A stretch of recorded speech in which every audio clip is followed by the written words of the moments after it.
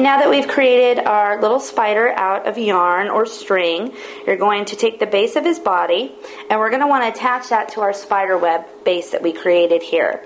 So you can put it at any of the quarters and what you're going to do is take some glue and just put some glue on the back of your spider in the middle of those knots that built up a good base for us. And you can put a good amount of glue on there because this tacky glue, Elmer's glue, that's all going to dry clear. So I'm going to put him at this top corner and I'm just going to hold him on there nice and firm, pushing him down. And you're going to allow him to dry on there for about 20 seconds. If he's still coming loose, you can surround the area with some more of this glue because again, it will dry clear and you just don't want that spider coming off.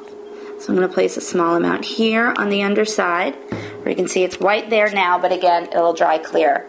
And once he dries, now you have your spider on the base of your spider web for your necklace.